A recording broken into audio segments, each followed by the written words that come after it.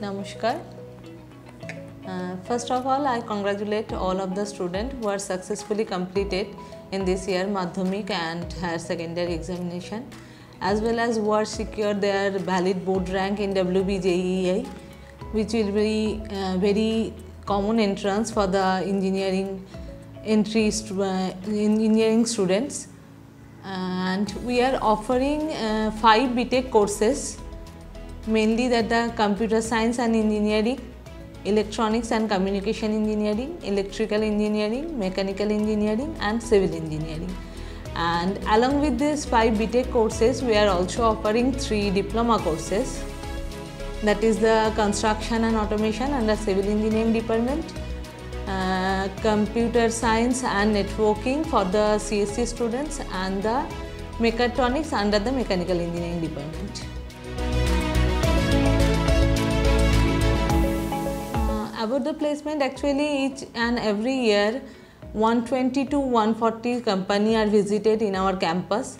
and according to that last three years record that the 50 to 60 company are the core companies which are mainly absorb the students of core engineering student that electrical mechanical and civil.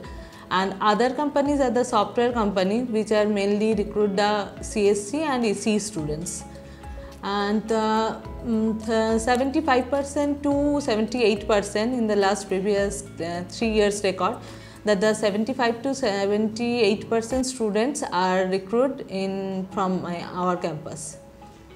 And if you say about the package in the last year means 2021 pass out batch the maximum highest package is near about 7.5 lakhs and the lowest package is uh, near about 3.25 lakhs actually, you know that the, our college is under the JS college, JS group and that's why that JS group tie up with different university, recognized university from the Japan, Singapore, USA and UA and that's why our student also extending the program and enjoy the facility for the foreign universities.